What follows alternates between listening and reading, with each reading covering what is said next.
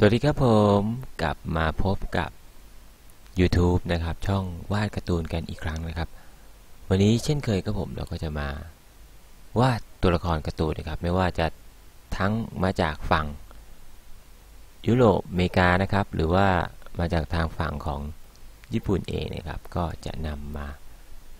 วาดกันให้ดูนะครับแบบลายเส้นก่อนนะครับ เพราะว่า กะว่าทำคลิปหนึ่งก็ไม่น่านานนะสิบถึงสิบห้านาทีนะครับ แล้วก็พูดคุยไปด้วยนะครับ เพื่อนๆคนไหนที่เพิ่งเข้ามาดูนะครับ อยากให้วาดตัวละครตัวไหนนะครับ ที่กำลังดังอยู่ หรือว่าที่เคยมีผลงานออกมาแล้วนะครับ ไม่ว่าจะเป็นจากมาจากทาง เป็นการ์ตูนเป็นแอนิเมชันมาจากเกมหรืออะไรก็ตามก็ลองเขียนไว้ใต้คอมเมนต์แล้วกันนะครับ ก็ถ้ามีเวลาก็จะนำมาสลับว่าให้ดูเรื่อยๆแล้วกันนะครับผม โอเคครับผมวันนี้เราก็จะมาเริ่มเลยแล้วกันนะครับผมตัวละครตัวนี้นะครับก็วันนี้มาจากฝั่งของญี่ปุ่นเช่นเคยนะครับ ก็เป็นตัวละครที่ค่อนข้างที่จะโด่งดังนะ ผมว่าน่าจะเป็นตัวละครที่โด่งดังเลยเดียว เราจะมาเริ่มจากโครงหน้าของเธอก่อนก็เป็นตัวสาวเหมือนเดิมนะฮะสาวเช่นเคยครับผมตรงนี้ก็จะเน้นว่าแต่ตัวละครสาวอย่างเดียว นะครับเดี๋ยววาดไปก็จะค่อย ๆ บอกไปแล้วกันนะครับ เป็นตัวละครที่ค่อนข้างที่จะมีเอกลักษณ์เลยทีเดียวนะสำหรับหลอดนั่นเอง เราก็จะใช้เวลาวาดเป็นลายเส้นนะครับ ก็ไม่น่าจะเกิน ไม่น่าที่จะเกินสิบนาทีที่ผมคิดไว้สิบถึงสิบห้านาที ไม่อยากนานมาก เดี๋ยวหลับกันหมดนะครับผม ตัวนี้ก็ถือว่าซ้อมวาดมาพอสมควรแล้ว นะครับผมเอาละเราขึ้นโครงหน้า ของผมของหล่อนก่อนนะฮะเป็นแอนิเมชันที่อยู่ค่ายดังอ่าเราจะพูดทีละนิดอยู่ค่ายดังเลยทีเดียวสำหรับตัวละครตัวนี้นะครับผมอยู่ค่ายค่อนข้างที่จะดังเลยนะฮะแล้วก็เป็นค่ายที่ผลิต การ์ตูนออกมาได้สนุกนะครับ แล้วก็ค่อนข้างที่จะเมื่อผลิตการ์ตูนออกมาเมื่อไหร่นะครับ หรือแอนิเมชันอนิเมะถ้าเราเรียกแบบญี่ปุ่นเนี่ยเป็นอนิเมะก็จะค่อนข้างที่จะ มีผลงานที่ติดตลาดเลยทีเดียวนะก็เป็นกระแสเลยนะฮะสำหรับค่ายนี้ค่อนข้างที่จะเป็นค่ายที่ ประสบความสำเร็จเลยทีเดียวนะครับ ตัวละครตัวนี้ก็เป็นหนึ่งในเรื่องที่สร้างกระแสอีก เช่นกันนะครับ สร้างผลงานกระแสเช่นกัน อย่าลืมนะครับถ้าชอบใจก็อย่าลืมกดติดตามไว้นะฮะ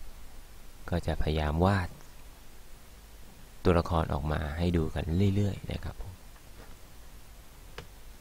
โอเคอยู่ในช่วงแต่งแหล้วเดี๋ยวเราจะมาเริ่มแต่งทางด้านของผมของสาวคนนี้เขาแหละ โอเคเราก็จะมาเริ่มแต่งรายละเอียดกันแล้วฮะ ตอนนี้เวลาผ่านไปเช็คดูก่อนสามนาทีนะเห็นไหมฮะ ไวมาก เรื่องด้วยความจำกัดของเวลานะครับ ก็รายละเอียดบางอย่างเราจะข้ามไปนะอาจจะไม่เป๊ะเลยทีเดียวนะ เพราะว่าการที่จะวาดให้ ตัวละครให้เหมือน หรือว่าให้ดูใกล้กับตัวเจ้าของผลงานเนี่ย มันจะต้องใช้ เวลามากๆนะฮะ ซึ่ง ตัวนี้ก็ต้องการรายละเอียดนะครับ อันนี้เราก็วาดแบบแค่เป็นลายเส้น เท่านั้นเองนะเป็นแค่ลายเส้นเท่านั้น บางอย่างเราก็ต้องตัดไปส่วนที่สำคัญนะครับผมนะ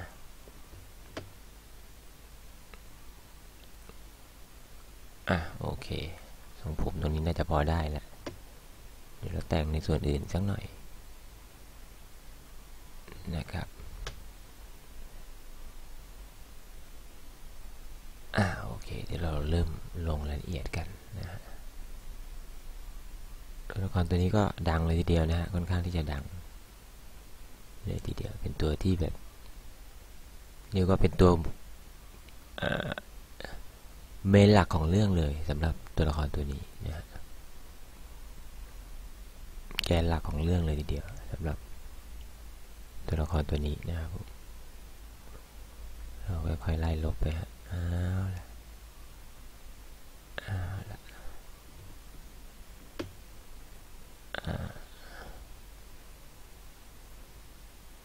โอเคครับผมค่อยๆไล่ลบไป เพื่อที่จะพยายามหาอ่า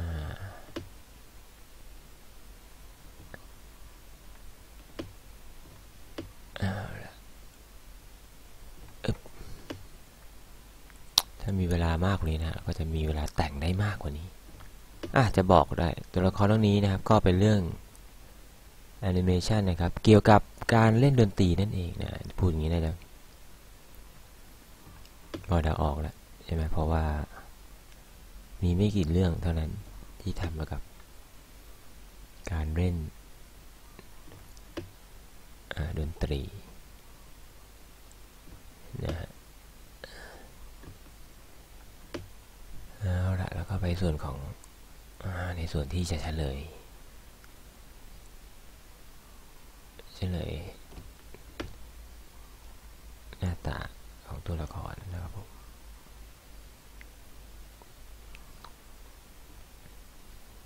เดี๋ยวต้องค่อยๆ ปรับแต่งไปนะฮะ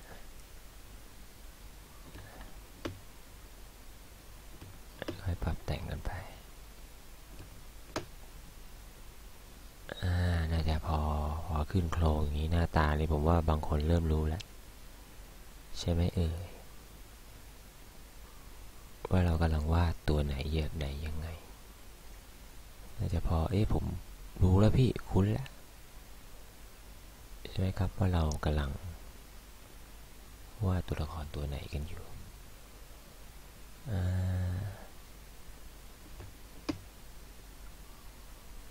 า สำหรับแอนิเมชันเรื่องนี้นะครับ ก็เป็นผลงานที่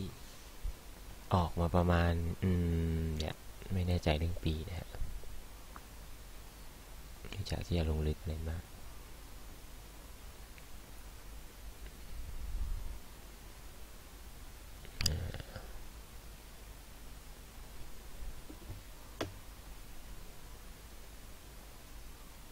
ก็การ์ตูนเรื่องนี้ก็หลายปีแล้วนะเป็นการ์ตูนที่ ค่อนข้างที่จะโด่งดังนะครับผมโด่งดังเลยเดี๋ยวอ่านเดี๋ยวแก้มเธออาจจะนั่นไปนิดนึงนะเดี๋ยวผมแต่งใหม่หน่อยอ่าโอเค อาจจะมากไป อาจจะมากไปนิดหนึ่งเอาล่ะ จะมากไปหน่อยเราไล่ลบไปฮะบางอย่างที่ มันไม่ใช่เอกลักษณ์เท่าไหร่ อ่าโอเคพอได้แล้ว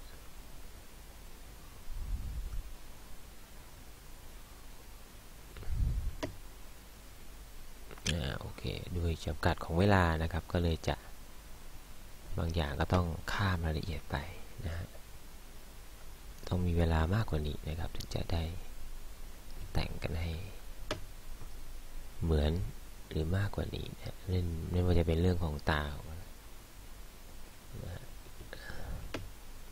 ตัวละครตัวนี้นั้นก็คือสาวจากวง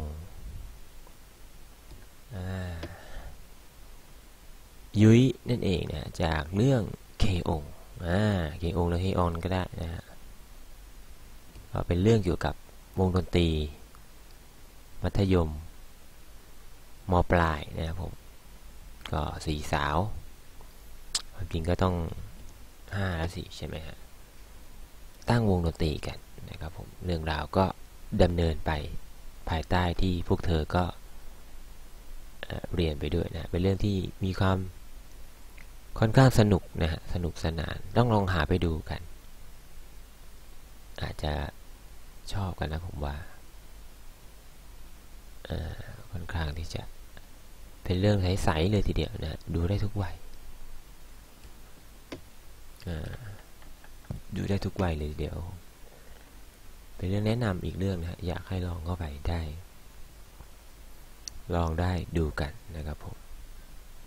อ่าโอเคครับผม อ่า ก็สำหรับวันนี้นะครับถ้าใครเขาเรียกว่าเข้ามาดูนะฮะแล้วสนใจนะครับ อย่าลืมกดติดตามไว้ด้วยนะครับผมก็เราจะพยายามมีเขาเรียกว่าตัวละครหรือวาดให้ดูเนี่ย มาเรื่อยๆนะครับ วันนี้อาจจะไม่ได้ลงรายละเอียดลึกมากนะครับ เรามาเป็นลายเส้นนะครับผมสำหรับสาวยุยวันนี้นะถ้ามีได้เวลามากกว่านี้นะครับ ตอนนี้เวลาผ่านไป 10 นาทีแล้วมากกว่านี้ผมอาจจะแต่งเรื่องตาเรื่องอะไรได้นะครับผมวันนี้ก็น่าจะโอเคนะครับ ไว้ตัวละครตัวต่อไปนะครับที่เราจะวาดนั้นนะครับ จะเป็นตัวอะไรนะครับ เดี๋ยวเรามาพบกันใหม่นะครับสำหรับในคลิปต่อไปนะครับ วันนี้ก็ขอบคุณมากนะครับที่มาติดตามกันอะเดี๋ยวผมจะให้ดูตัวที่ผมได้ซ้อมไว้ด้วยนะแล้วก็อาจจะเป็นลงสี ลงสีไว้บ้างแล้วนะครับผมแต่ว่ายังไม่ได้สำเร็จเลยทีเดียวอ่าก็คงจะต้องปรับแต่งกันไปอ่าผมสำหรับสีแล้วก็ลายเส้น นะครับผมถ้าเกิดตัวนี้คือจะให้เหมือนเนี่ยต้องเราจะต้องแต่งเรื่องที่ตา กับสีผมเนี่ยจะค่อนข้างที่สำคัญมากเลยนะครับผมอะเพื่อนๆคนไหนสนใจนะครับผมก็อย่าลืมนะครับผมกดติดตามไว้ด้วยนะครับ ก็เดี๋ยวเรามาพบกันใหม่ จะเป็นตัวละครอะไรนั้นขอติดตามกันครับผมวันนี้ก็ขอบคุณมากครับผม สวัสดีครับ